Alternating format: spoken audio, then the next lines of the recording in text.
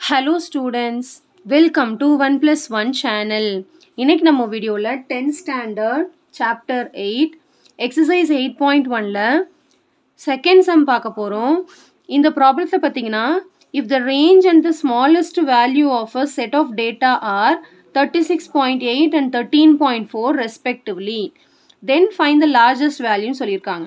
அதாவது range and the smallest value of the set of data ஒரு டேட்டாவோட range கொடுத்துட்டாங்க. ஃபர்ஸ்ட் உள்ளது ரேஞ்சு நெக்ஸ்ட் உள்ளது ஸ்மாலஸ்ட் வேல்யூ கொடுத்துட்டாங்க.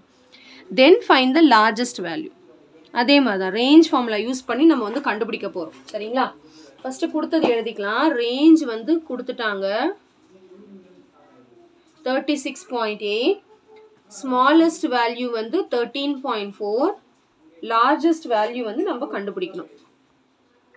ஸோ ரேஞ்ச் ஃபார்முலா பார்த்தீங்கன்னா எல் மைனஸ் எஸ் ரேஞ்ச் வந்து தேர்ட்டி சிக்ஸ் பாயிண்ட் எயிட்டுன்னு கொடுத்துட்டாங்க. எல் தெரியாது அப்படியே வச்சுக்கலாம். ஸ்மாலஸ்ட் வேல்யூ இருக்க இடத்துல தேர்ட்டீன் பாயிண்ட் ஃபோர் ஸோ இது ரெண்டுத்தையும் ஆட் பண்ணுறதுனால நம்மளுக்கு லார்ஜஸ்ட் வேல்யூ கிடைக்கும்.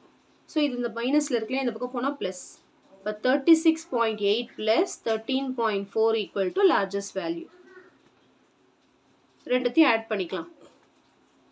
Eight plus four twelve two balance one ten zero balance one four five இப்போ fifty point two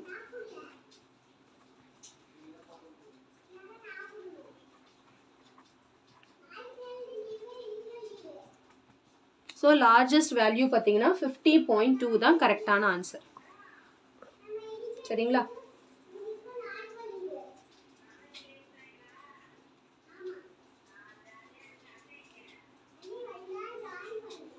ஸோ கண்டிப்பாக இந்த சம் நல்லா உங்களுக்கு கிளியராக அண்டர்ஸ்டாண்ட் ஆயிருக்கும்னு நினைக்கிறேன்.